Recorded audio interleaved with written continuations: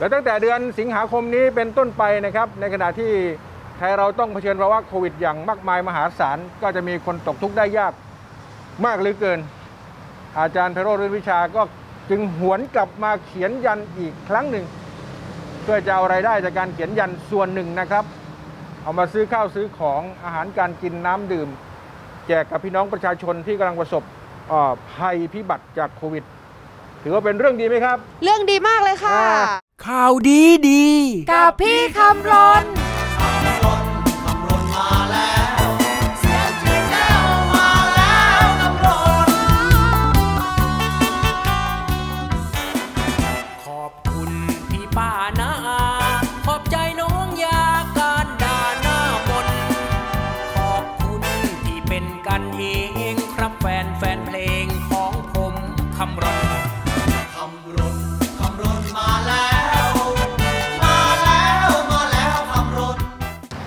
ำนักงานอาจารย์ไพโรธลื่นวิชา เรามีมหายันใหญ่ มหายันยักษ์ใช่ไหมครับ ใช่แล้วค่ะ มหายันรวย มหาแปลว่าใหญ่แปลว่ามาก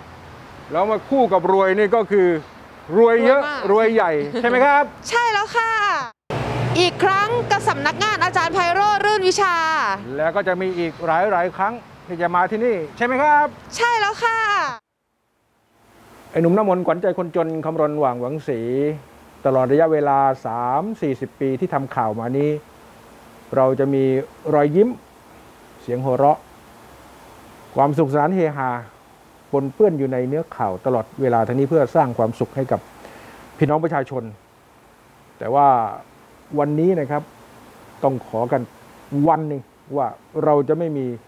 เสียงหัวเราะแบบนั้น เพราะว่ามาพบกับ อาจารย์ไพโรธลื่นวิชาแล้วเนี่ยวันนี้ท่านหวน ท่านต้องหวนกลับมาเขียนยันใหม่ เพื่ออะไร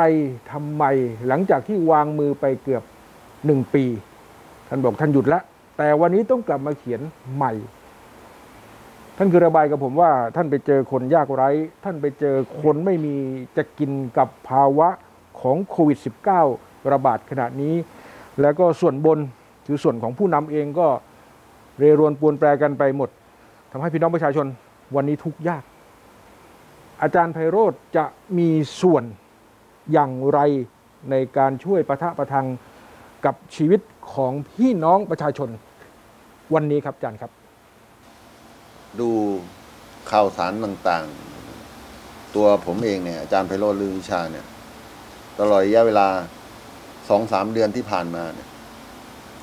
เห็นน้ำตาของพี่น้องคนไทยนะที่ตกงาน ร้านค้าร้านขายต่างครับๆค้าขายไม่ได้ ถูกปิด ครับ ไม่มีจะกินลำบาก อาจารย์เองเนี่ยมีวิชาในเรื่องของการเขียนยัน ซึ่งประกาศหยุดเขียนไปตั้งแต่ปีหกสามวันนี้เนี่ย ขอกลับมาเขียนอีกครั้ง ซึ่งไม่เคยคิดเลยว่าจะได้กลับมาเขียนอีก แต่มันเป็นสิ่งหนึ่งที่จะทำให้คนที่เขามีเงินเนี่ย และมีความเชื่อในอักขระเลขยันของอาจารย์ไพโรจน์ลือวิชาเนี่ยเขามาเช่าไป อาจารย์ก็ได้เอาเงินทั้งหมด มาช่วยพี่น้องประชาชนที่ตอนนี้ลำบาก จะเอาไปซื้อ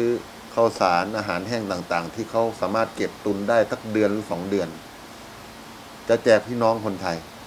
โดยที่ไม่หักค่าใช้จ่าย ไม่คิดไม่หักค่าแรง ไม่หักค่ากรอบรูปค่าอะไรพยุงไม่หักเลย ทั้งหมดจะรวบรวมแล้วก็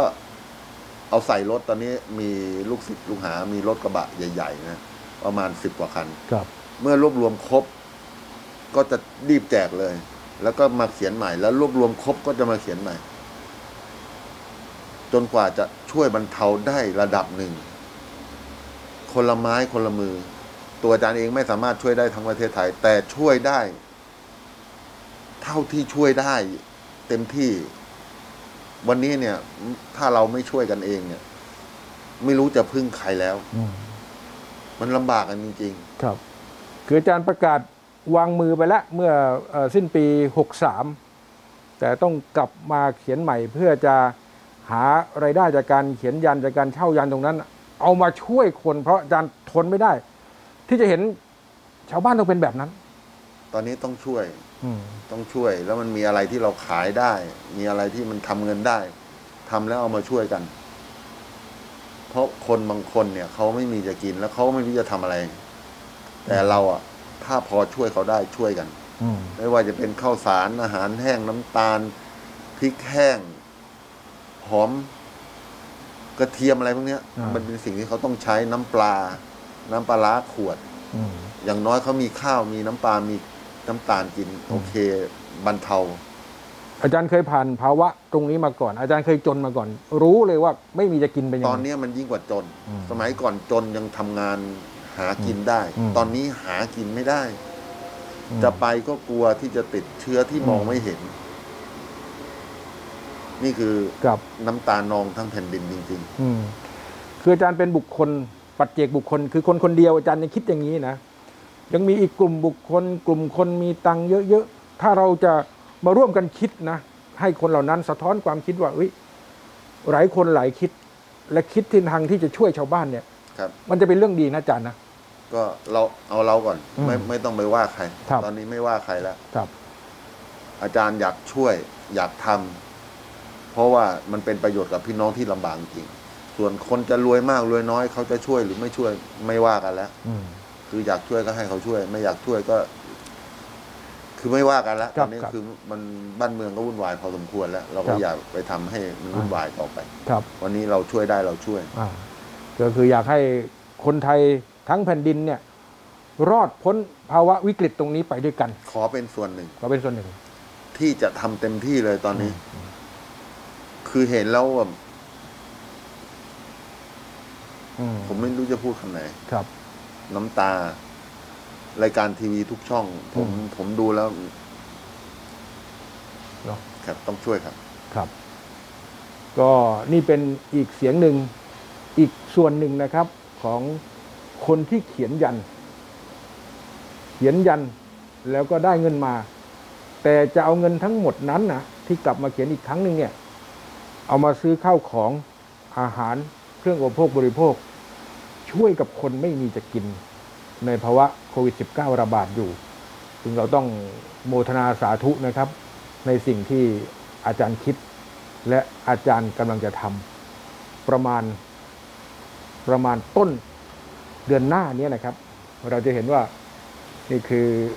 ลูกผู้ชายคนหนึ่งชาวอายุทยาที่อยากจะช่วยคนตกทุกข์ได้ยาก ในยามนี้กลับขอบพระคุณอาจารย์มากครับครับครับข่าวดีดี กับพี่คำรน